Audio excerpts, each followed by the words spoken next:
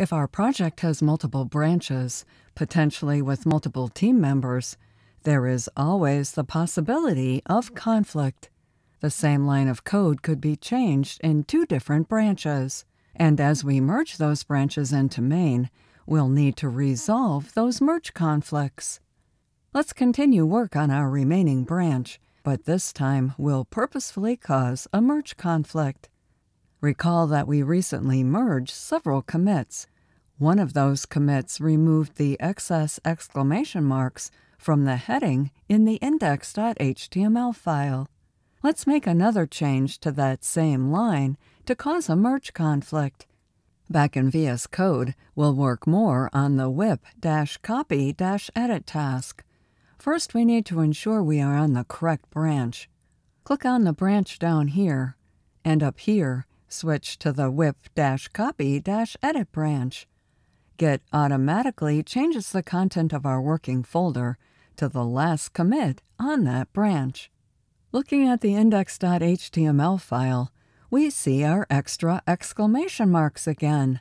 Our fix to remove them in the merged branch didn't impact this branch. At this point, we should merge the updated main branch into any remaining branches to prevent possible merge conflicts. But we want to see how to resolve merge conflicts. So instead, we'll skip the merge now and change that same line to ensure we get a merge conflict. Let's remove the from the heading. You don't say welcome to the GitHub, so we shouldn't say welcome to the Virtual Pet Cafe. Done.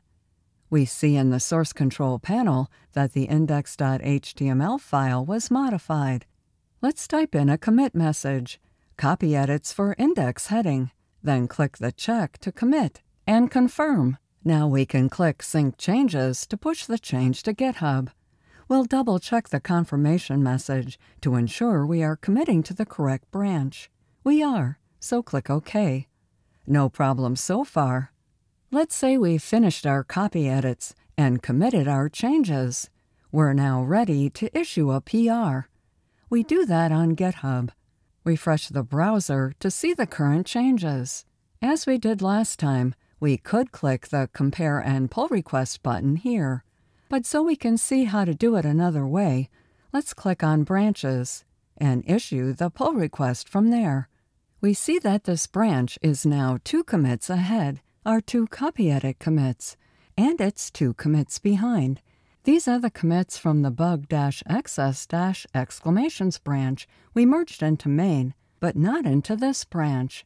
Let's click New Pull Request to open a new pull request. It provides a default title we can edit as desired. Notice the message here. It's already telling us that it can't automatically merge for us. We have a conflict. But it's so reassuring, telling us we can still create the pull request scroll down, and click Create Pull Request. And here's the pull request.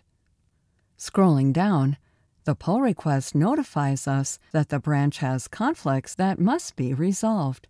It even tells us which files have the conflict. Lucky for us, in this case it's only one. Click Resolve Conflicts to open the built-in editor and see the conflicts. Scrolling, we see the conflict is right where we were expecting. Git adds conflict resolution markers to point out where the conflict occurs. The content above the equal signs is the content from our branch. Below the equal signs is the content from the main branch. Now we have a chance to look at both changes and decide what to do. Let's start with our copy edit branch and remove the extra exclamation marks. Then we delete the duplicate text and delete the markers. Using the outer scroll bar, if there were multiple conflicts, we'd use these buttons to navigate through them. When all of the conflicts are resolved, click Mark as Resolved. Our merge resolution caused a change to our copy edit branch, so GitHub commits the change to that branch.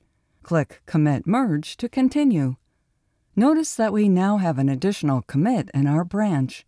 The first commit was for the first copy edit change to the index.html file, we changed some text to plural form. The second commit changed the heading, removing the word the. Since we'd also changed this heading in our bug-excess-exclamations branch, this change generated our merge conflict.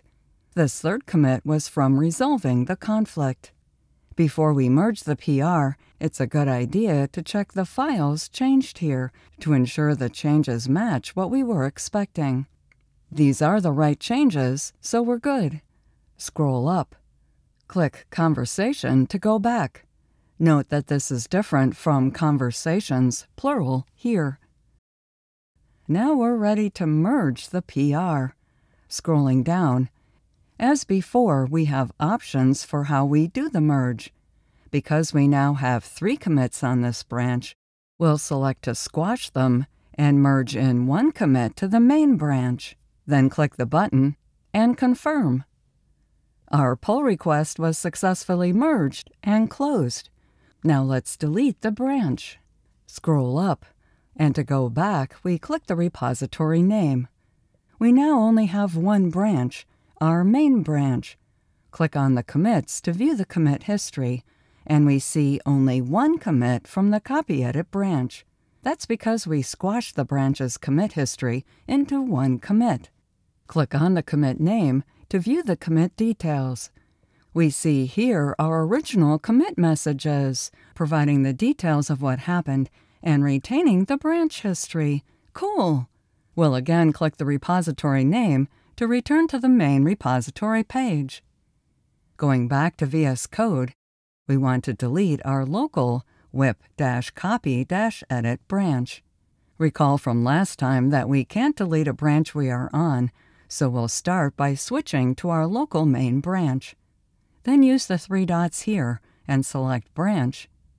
Delete Branch. Pick to delete the whip-copy-edit branch. Now that we are back on the main branch, look at the index.html file. We still see the exclamation marks.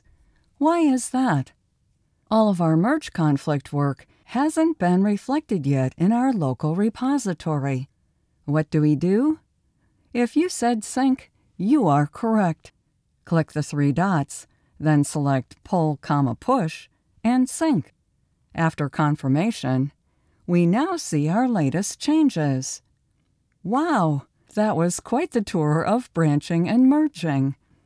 So, GitHub is pretty smart about automatically merging our files. But when it can't, it notifies us of a merge conflict, helps us identify where the conflict is, and provides an editor for resolving the conflict. Now that we've covered the basics of GitHub, let's take a look at GitHub Pages.